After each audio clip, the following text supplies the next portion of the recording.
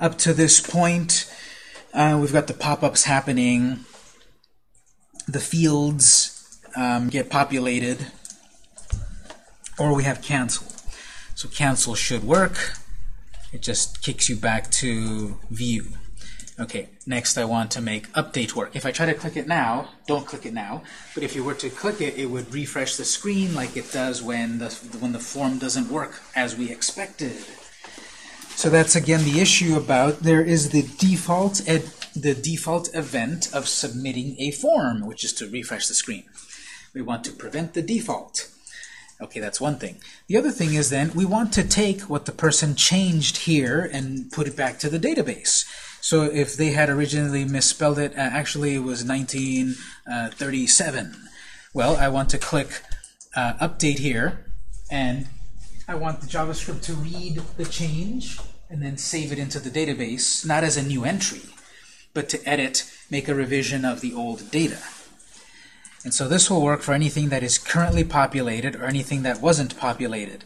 So if I never wrote any notes into this comic, I want to write some notes to the comic. JavaScript will read what's there and save it. So we need to deal with clicking submit. Uh, that happens because we've got form edit comics info. Uh, we should have created the object for that, for that form. L form comics info. Yes. Okay, so we've got a we've got the form, we've got the object that represents that form. We need the event listener to listen for the for the event of submitting the change to run the function. So we'll go to our event listeners.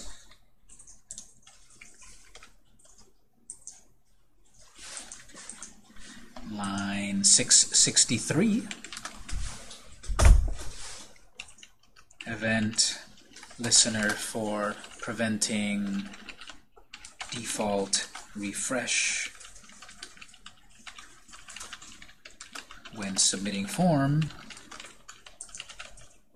and checking what was changed and storing the updated version of the data into the database, PouchDB.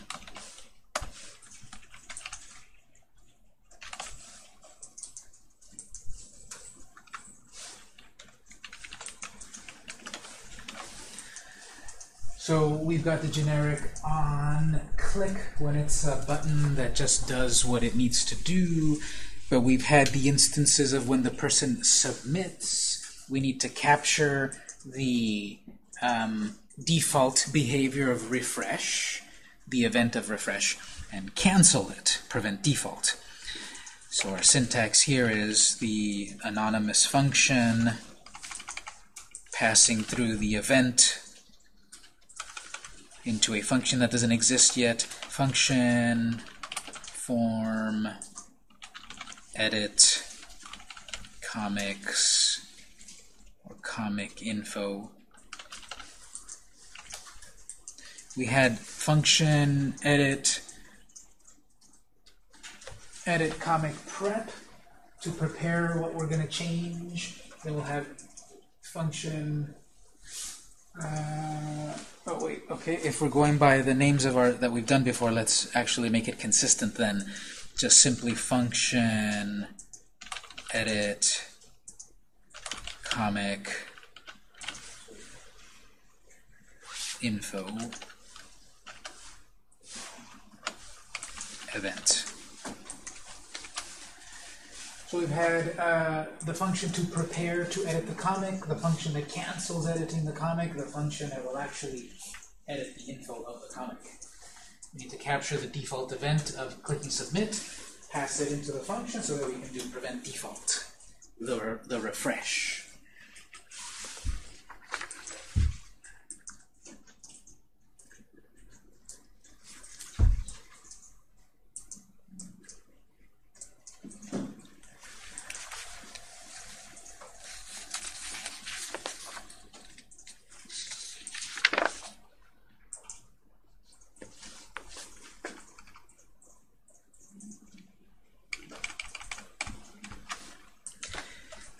Back up to where we've got the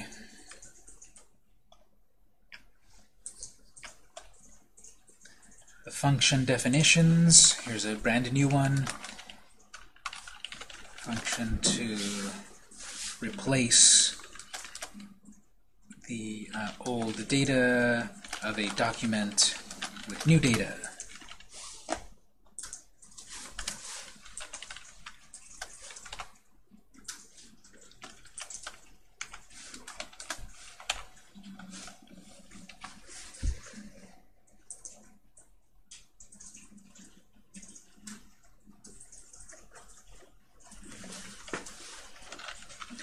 We'll do our console to confirm that this function is running. And more importantly, event.prevent default. Prevent the default behavior of refreshing the screen.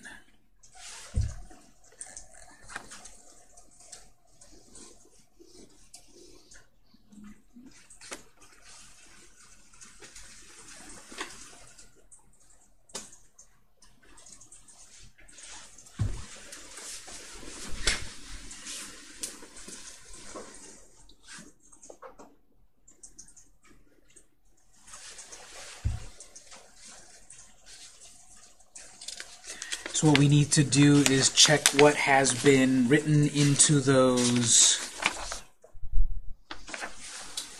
into those fields and then replace old data with new data. So we'll create a variety of new variables here. Check what's in the edit comic input fields. We'll create variables for them. Dollar val the value of in title edit is equal to jQuery selector pound in title edit dot val.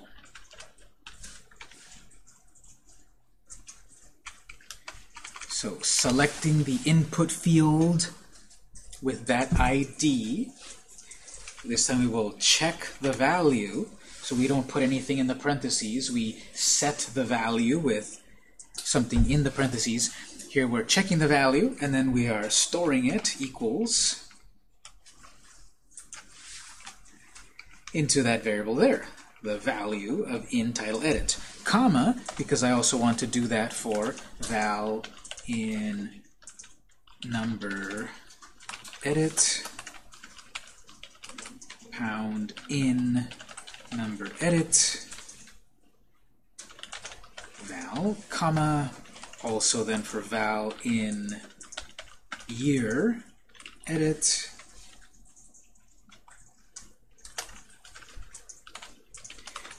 In year edit. So for all the fields. Val in publisher.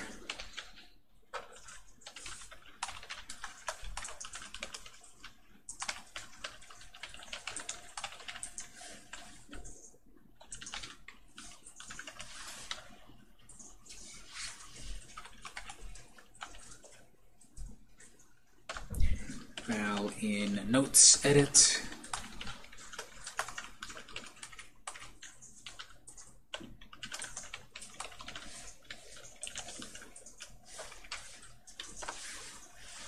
and barcode.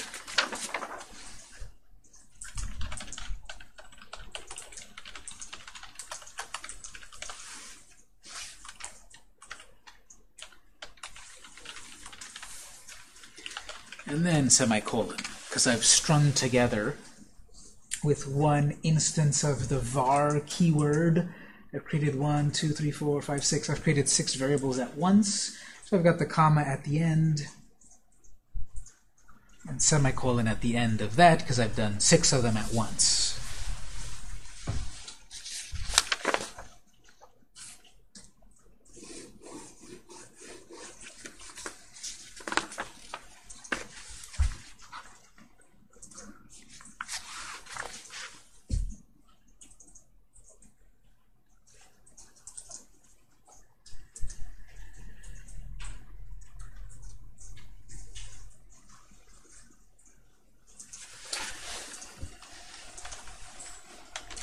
So once we confirm the comic in question, we will reinsert the data into the database, into the same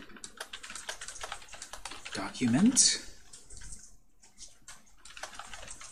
and its fields.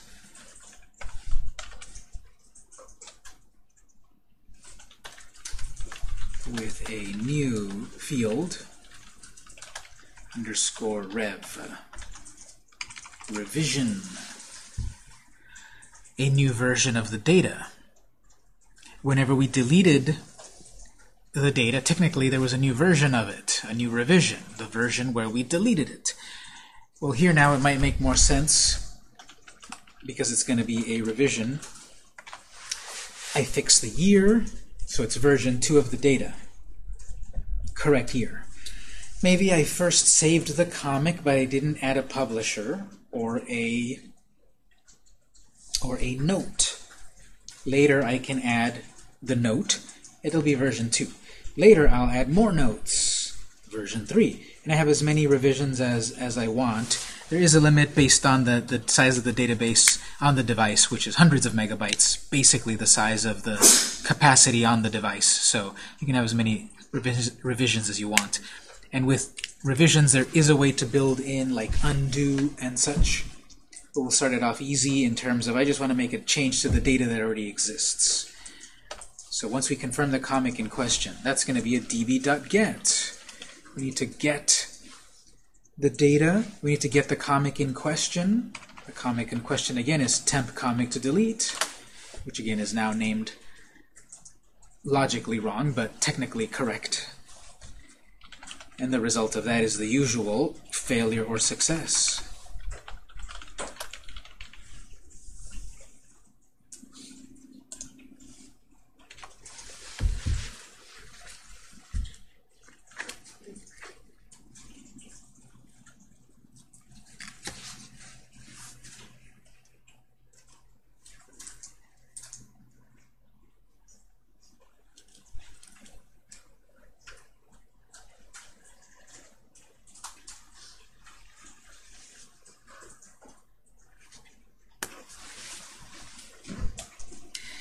Okay, so I need to break apart that curly brace for dot .get, and we can note that that's end of dot .get.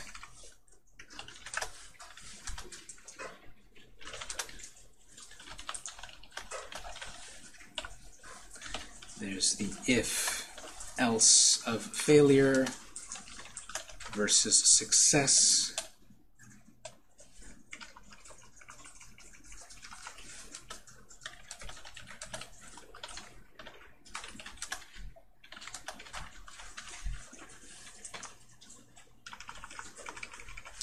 as we've done before, we'll have failure first.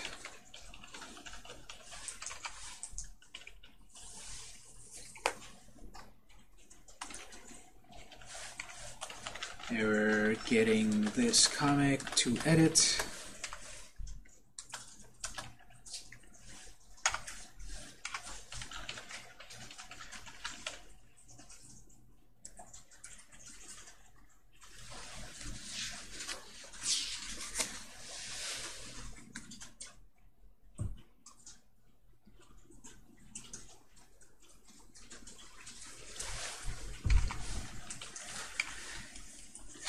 Success about to edit this comic.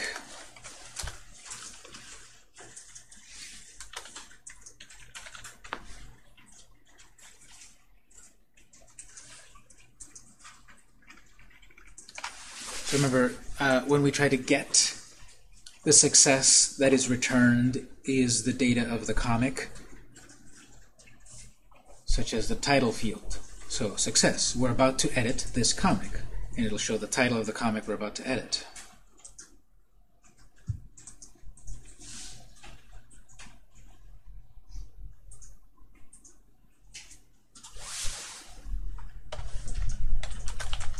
After confirming the comic in question, we put the data back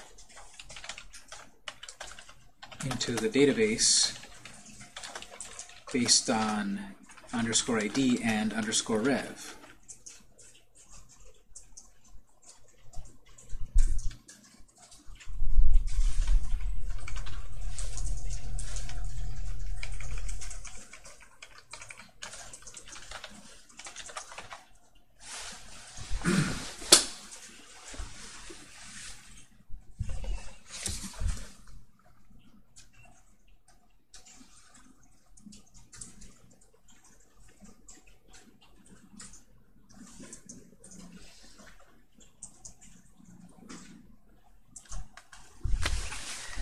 So that'll work with db.put. We're going to store data into the database. We're going to store the data in each of those fields, keeping in mind the, the ID, the underscore ID of the comic in question, and taking into account a new revision number. So let's do this to set up the skeleton. Curly braces, comma, function, parentheses, curly brace. Well, this is the usual in terms of we have some pouch command with some option and some result. Well, I'm starting to write this with curly braces, so that's going to be in JSON format. And uh, this is, these are the fields that we're going to store back into the database. Uh, I wrote it right away here already because I want to break these curly braces so that it's readable like this. Because remember, we have a title of the comic. We have a um, number of the comic. Year.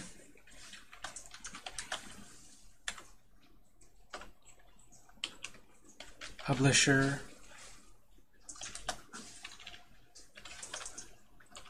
notes,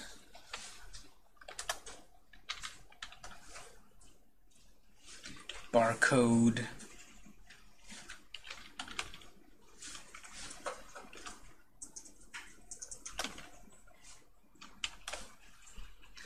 And then we have the unique identifier, which differentiates this piece of data from every other piece of data in the database, underscore ID.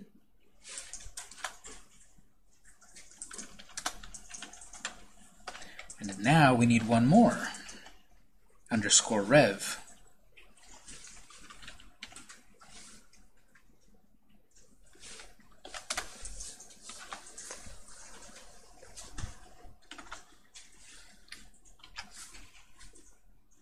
No final comma. It's in JSON format. You've got the key and value pairs, comma, key and value pair, comma, etc., until the final key and value pair, no final comma. All of that's in curly braces. All of that is our first parameter of put, put this data into the database. These placeholders are going to be dot or dollar $val in title, edit, which is the variable that holds what did they type into or not change in that input field. Store it into title. Store the val in number. The val in year. So forth.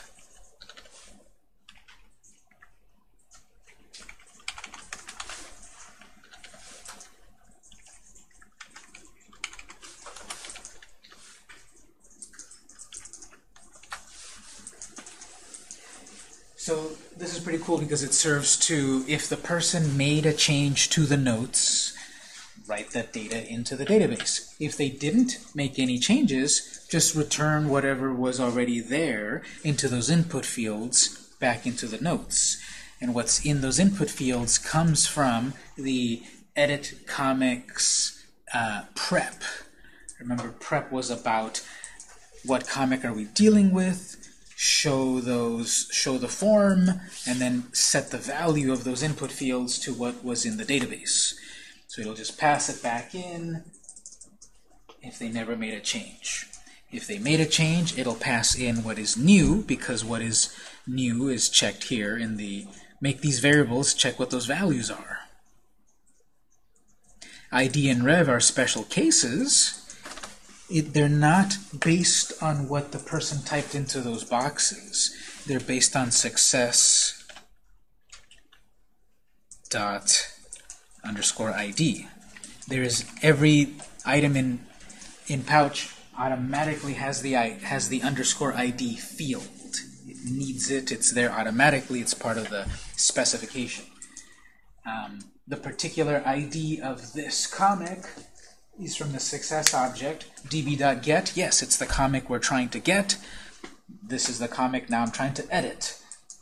Now, revision, very similarly, success dot underscore rev. There is some randomly generated number that keeps the versions of the data uh, organized. And here we're saying, uh, let's, I'm trying to save the data. I'm trying to put into an ID that already exists a new version of the data. And sort of behind the scenes, it automatically knows to say, okay, now we've got version 2 of the data, or 3, or 12.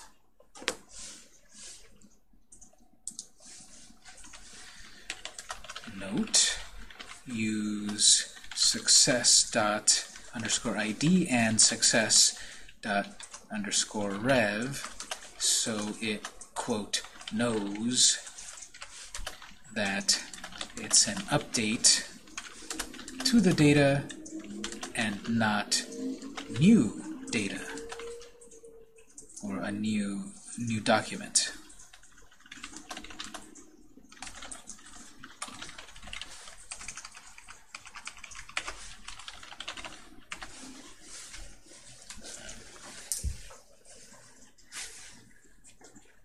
Question on those. Mm-hmm. Um, the success that you're referring to are the ones from Get, Mhm. is that correct? Yes. Okay, so the underscore rev, isn't that the old revision number that you're picking up from Get? It is. It's not that we're creating a new one. We're telling it, we are saving data to this ID, and there has already been a version 1. Here it is. So behind the scenes, it will say, great, let me create version 2.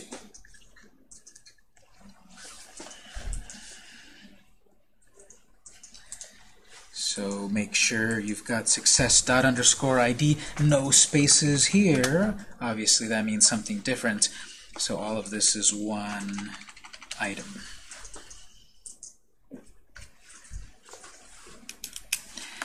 Okay, well here we're it behind the scenes it will create a new version number.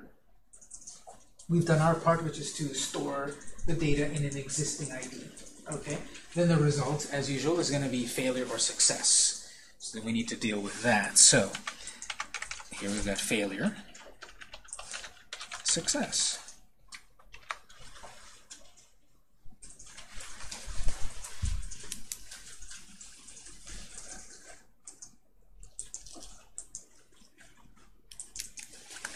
If there's a failure, we put it to the console, we deal with it. Or else there's a success. Su success means behind the scenes, the database has changed. But in the front end, nothing changes unless we change it. Remember, whenever we would save a brand new comic, the table would not redraw itself unless we explicitly called that function. We're going to need to do that, as well as in theory, right now we're on the pop-up screen showing the comic information. Uh, so that's going to need to be refreshed as well, because we've made changes to the comic. So I'm going to break apart the failure success callback function.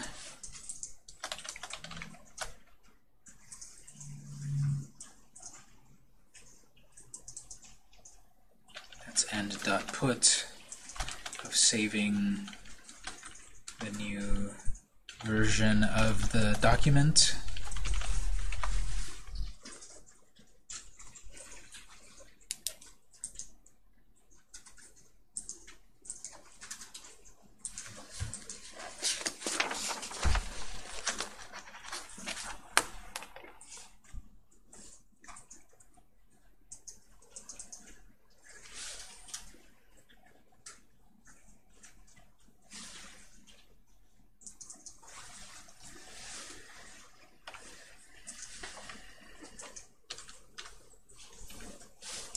So that's an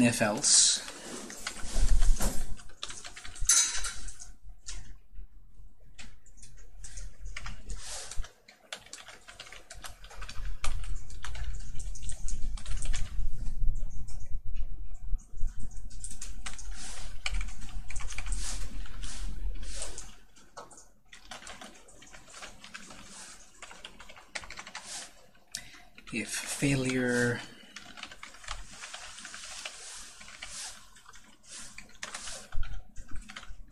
error updating the data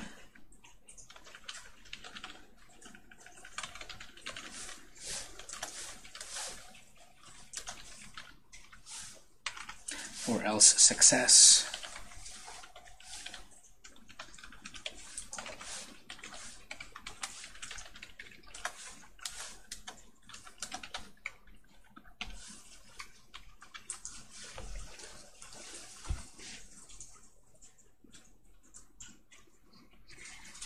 After successfully updating the data behind the scenes in Pouch, we need to redraw the info screen and the table and close this screen because we're sort of at three different levels. We, on the View Comics screen, PG View Comics, we've got a table that needs to change.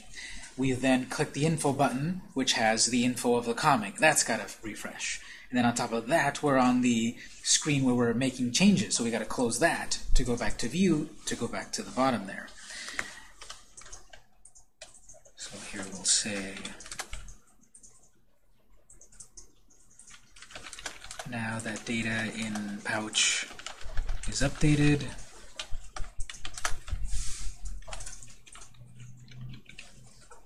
redraw the info screen, then the comic table, which is view comic screen, comics screen.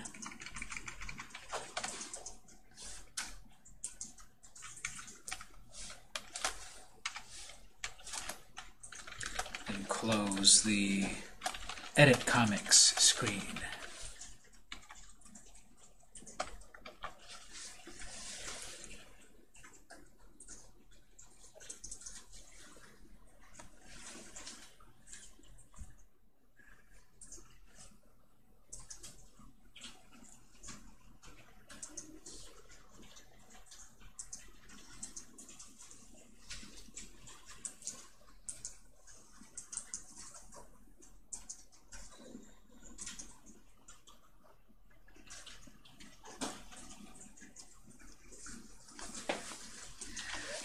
Here's a part where this is going to be tedious because we need to redraw that info screen.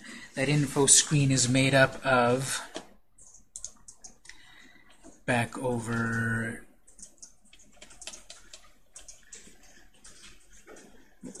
several hundred lines back. We've got um, show comics info function where we've said on the first paragraph display the title, on the fifth paragraph, display the, the notes. So I think to save ourselves a little bit of effort here, uh, I'm going to copy and paste and make changes. Find the spot where you've got div view comics info paragraph equals zero. We're going to copy all of that, which then we're going to change to show the latest version of the data. So in my case, line 510 to 514, the zeroth paragraph, first, second, third, fourth paragraph, I'm going to copy all of that.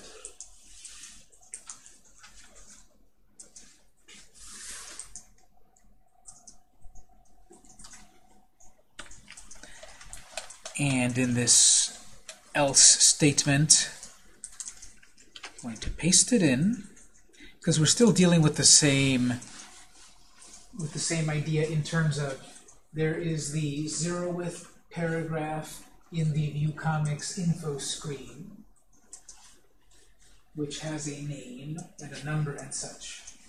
what's going to change is not this not the um, not the success dot title. Um, this success object isn't the same thing anymore. The last time we had success is is when we were trying to put the data. We don't actually get the title that way. So all of these that are success dot whatever, these are going to be the val in title edit. Val in number edit. It's going to be the last version of what they typed into those boxes. The last version which is the which is the, the changes the latest version of the data. So if they typed in something to those input fields that's the latest version of the data that's going to go back into those paragraphs. Val in year.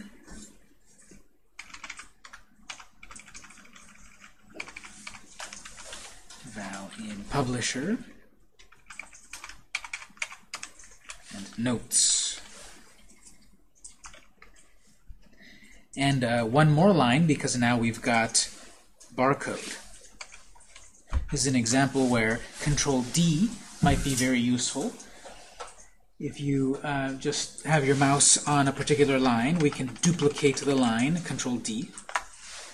We need to change this, so now we're dealing with paragraph equals 5. It's not the notes, uh, it's the barcode. And then it's val in barcode edit.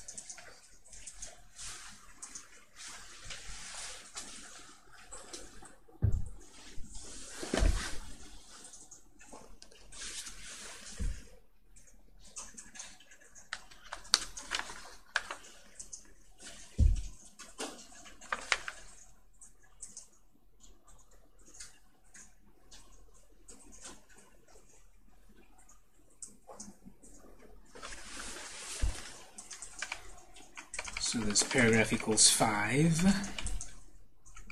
This is the barcode. And it's val in notes, uh, or val in barcode edit.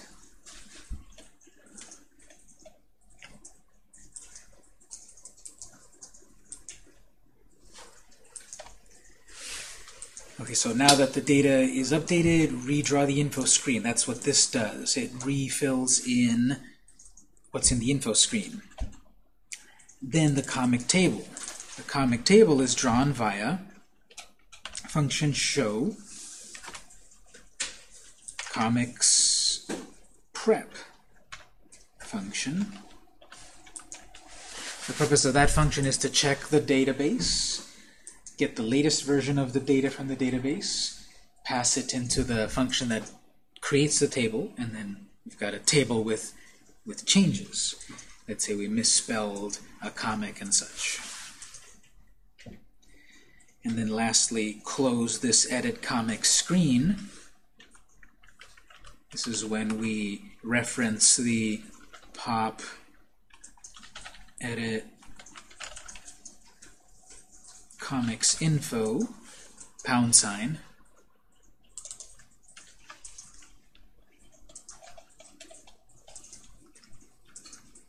Like when we did cancel we needed to close the dialog box. Well now we need to close it because we've made changes.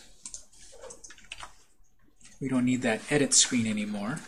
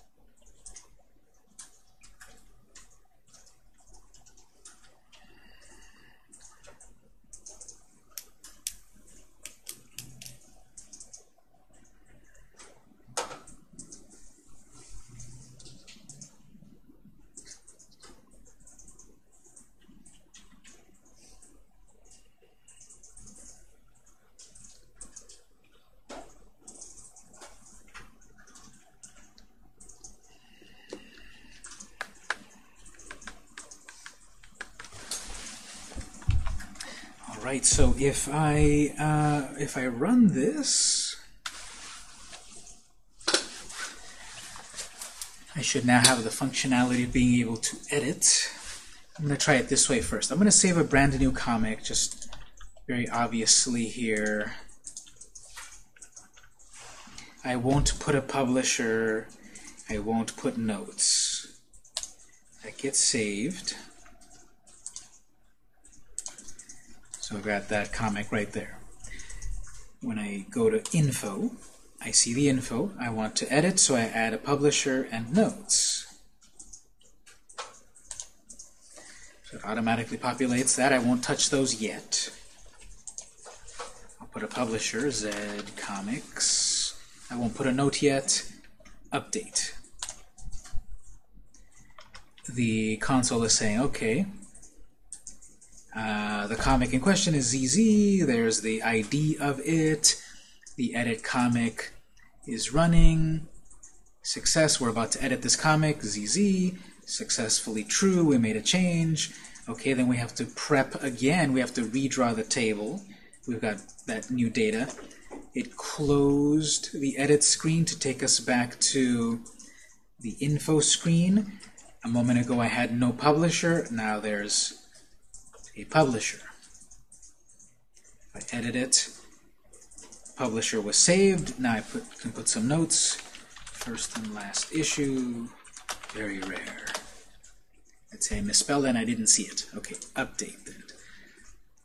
Console is saying it's doing its thing, and now I've got some new data here. Oops, I misspelled that. Let me go back and make one more change. And maybe capitalize the comic. Update that. So that changes. It changed data that existed in the fields. It changed data that was empty fields. When I close that, it changed there too. When I go look at my app memory, IndexedDB, this user's database by sequence,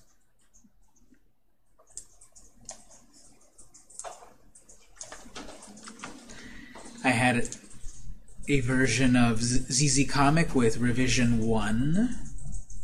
Here it is doc ID and revision. There's the ID, revision 1 plus unique string. Then there was another version of the data. The thing that got changed was the publisher. I added a publisher, and it's version 2, etc.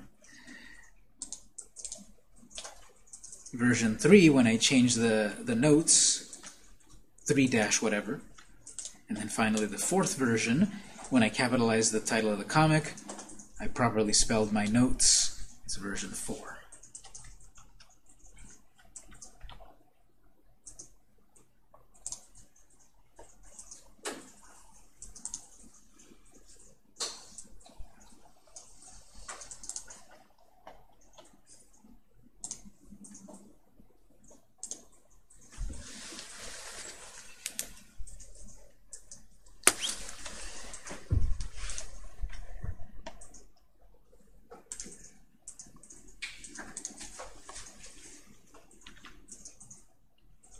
So the idea is that we're reusing dot .put, but more importantly with uh, note, noting the ID, the unique ID, and the revision number. And then behind the scenes, it added two, three, four, whatever, as many as you want, plus the rest. And it keeps track internally of the different versions, and then um, it made the change. And then on the front end, we have to do this legwork about uh, redraw the info screen, redraw the table, and close the dialog.